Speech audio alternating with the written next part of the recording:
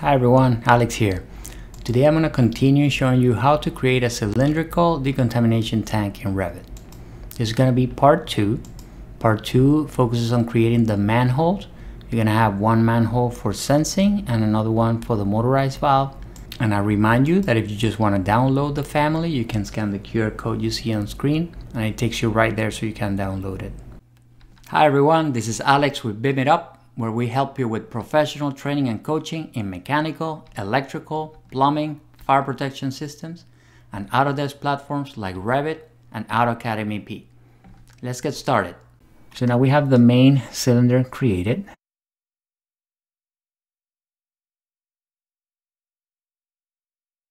Let's focus on the slim one, right? And then what you want to do is, remember, we have these two manholes here, this one, and this one. So let's just eyeball it here. I'm gonna say that the first manhole is gonna be, let's say, one sixth of the length. Let's say it's like around here, right? So what we do is we click in here, we do create similar, and we have a reference plane right here. We're eyeballing here. I'm gonna give it a name. So this one's gonna be the monitoring manhole. So let's call it monitor manhole and then we want a dimension from here to here. And then this parameter here. We want to define a parameter because that's going to change depending on the size of the tank.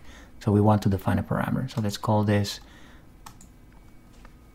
monitor off offset. It's a type parameter and let's group all of those under plumbing And then what we can do is we, we can create a formula so that this distance is always one-sixth of the total length, for example. So what we do is we come here and then that monitor offset, we take this parameter, we copy the text so that we avoid any typos or anything like that. And then we can have one-sixth times that parameter. And let's see, there you go. So 1 6 of 10 feet 9 inches is this distance here. So it's working like a charm. I just click OK. And here we go. And now we also have the the we also have the motorized valve. Remember, we have this valve, the manhole right here. So let's create that one. That plane, we can say it's also one sixth of the length. So let's just create similar. We place it here somewhere and then we dimension from here to here.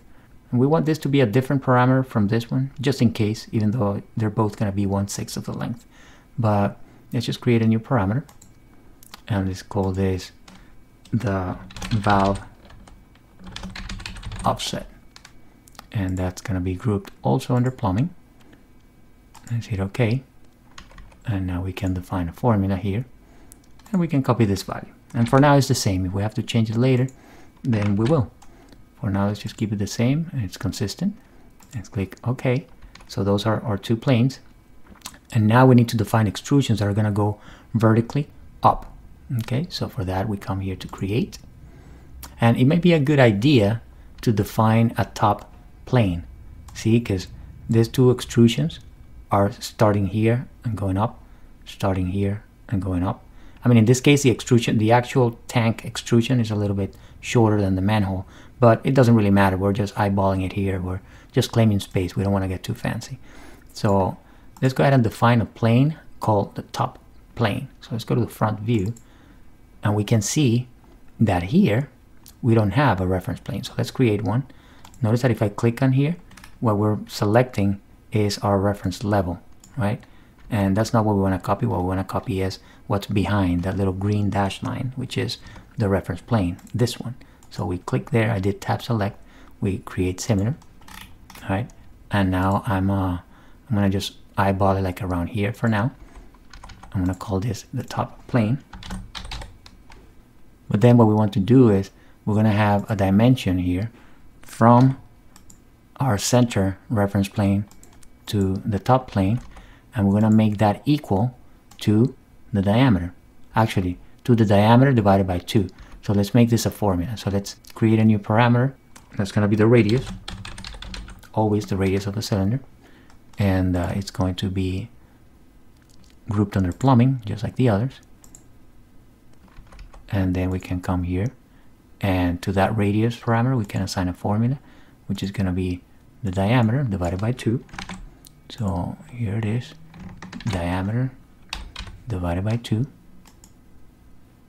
and there we go.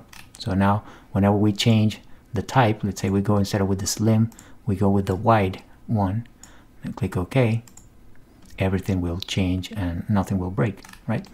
So now that's good. We have this plane defined. So we can go to our reference level and now define our two extrusions for the manholes.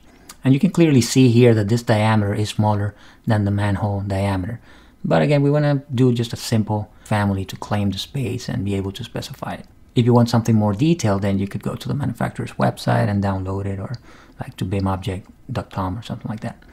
So let's go ahead and do that. We come here to create. We want to create an extrusion. Now, which plane do we want to create that on? Let's see. Let's go to set plane.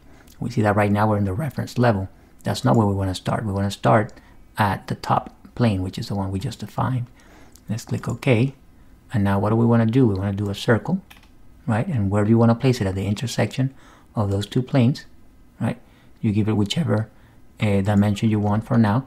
Actually, I always like to take it out of whack a little bit and then make sure I click on my circle and then check the center mark visible and then align AL to this plane and lock it and then to this plane and lock it and that way I'm sure that this will not break and it will flex properly. We want to define a certain distance here so let's dimension this. So let's make it two feet. Let's just leave it like that for now. And then the extrusion length, I would make it probably two feet as well. You want at least two feet underground. This is probably the same distance, this way and this way, the same as this distance, this and this.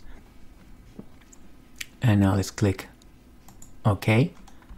And let's go to a 3D view to see what's happening. And that's pretty decent. You may want to give a little bit more. So let's go back to our reference level here. And let's make this monitor offset a little bit more. So what we can do is we come here and then instead of being one sixth of the length, let's make it one fifth of the length. And let's copy it just to make sure that we have it in all the types in case this doesn't change. That looks a little better, right? One fifth. So let's keep one fifth. Let's go to the 1000 gallon, one fifth. That's good. So that's so that gets recorded for every type, regardless of which type it is, because it is a formula. Okay, so we're looking good here. And then let's create a similar extrusion right here. So we just come here to create extrusion. What do we want? We want a circle. Where do we want it? We want it here, but again, I do it wherever I want and whichever size I want. I just click there and make sure I, I click on center mark visible and then I can align in this plane and lock it and then in this plane unlock it.